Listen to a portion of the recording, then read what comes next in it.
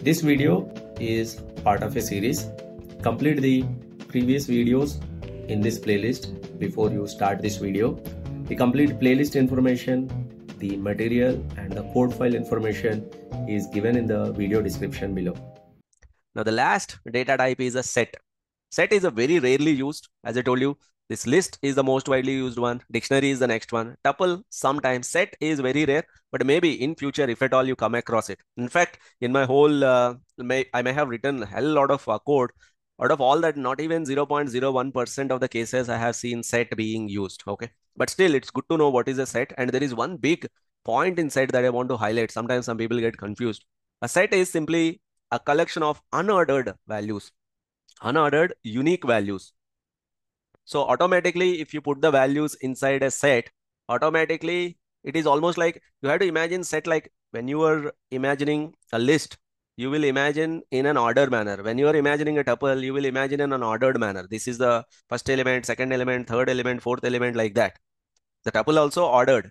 Whereas in a set, you cannot imagine like this. There is no ordering. Set, you have to imagine in our school days, there are sets, right? This is set A. This is set B. This is called intersection. Do you remember that?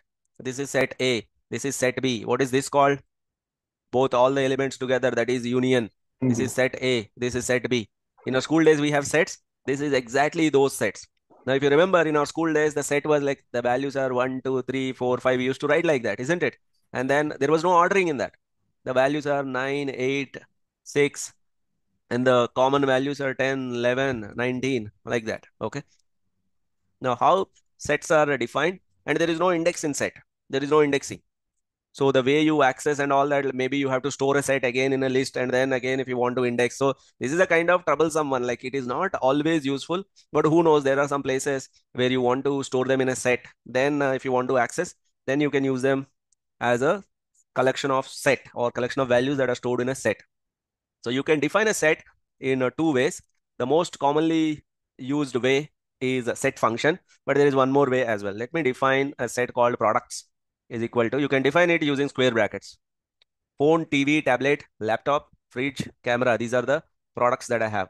Now square, these are, sorry, not square brackets, the curly braces. The curly braces we have already used for a different uh, data type. What was that?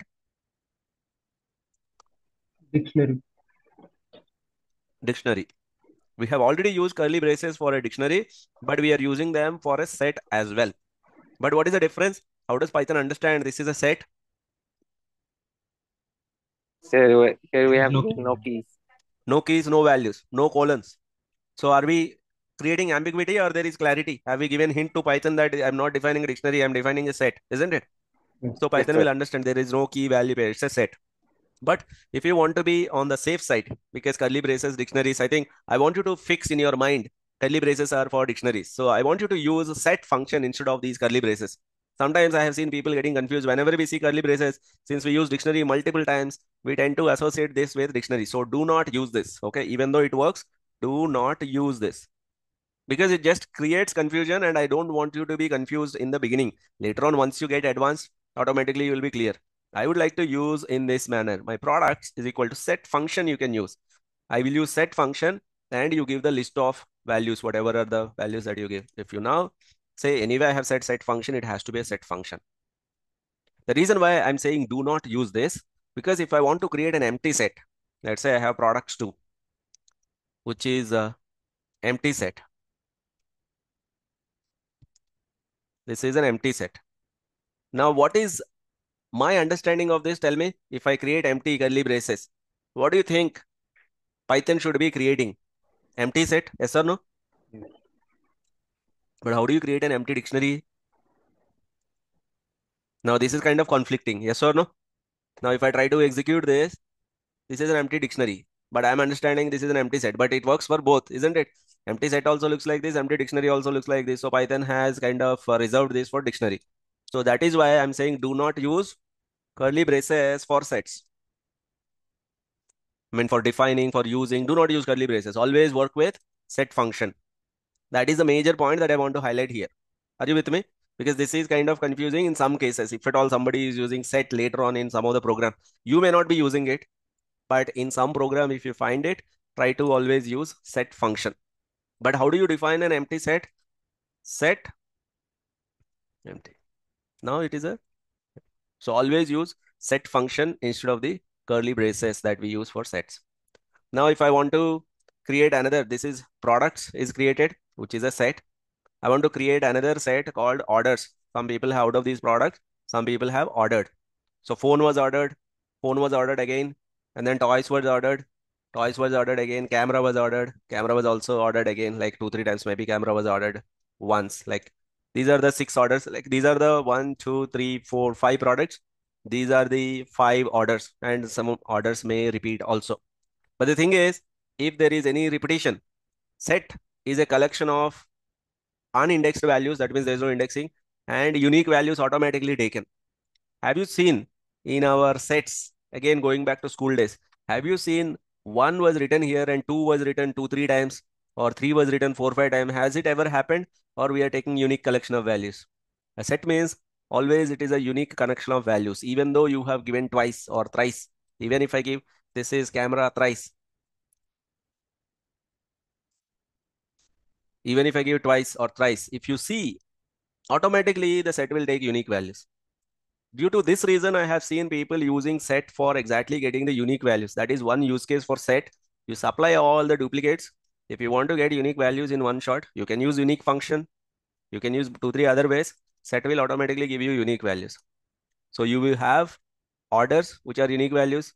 Now, if I put fridge twice here, set is an unordered collection of unique values. So if I try to print products, what's going wrong? Tell me. The double quotes at the end of the fridge. At the end of it, double quotes are missing. That's good. So I have products, I have orders. Now let us do some set operations. So just for the sake of understanding, if I want to do union, can you tell me what will be the union of two sets? If I do this, TV, tablet, laptop, fridge, phone, and then phone, toys, camera. So it has one, two, three, four, five elements. This has three elements. Union will have how many? So I will say union set. So you can use this pipe operator. This is uh, usually we have this slash, right? If you put shift slash, which is like that pipe operator will be there, one line operator. That is called union. So union set will have all the Indian Well is fridge, TV, tablet, camera, phone, toys, laptop. Is there any repetition inside a set possible? No, not possible. Now tell me what will be the intersection. If I say intersection, what will be the output? Phone, toys, and camera. Uh, phone, is it matching? Yes. Toys, will it be there? Toys, intersection का मतलब matlab क्या है? What is the... No, sir, only phone. Into the set. Both the... Intersection means it's in both. Toys, is it there in both? No. no. Not. So let us hmm. see the intersection. Then what else? Camera, will it be there? No. What is the output that we will get? The only value that is Only there, phone. both the Phone. only phone will be the one. So intersection. Intersection set is product and orders. Phone will be the one. Now, if you want everything without phone, that is known as symmetric difference.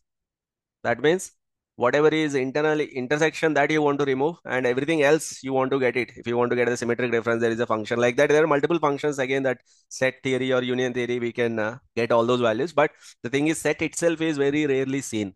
As I told you, the data types that you must take very seriously are these, or the ones that you will get very frequently.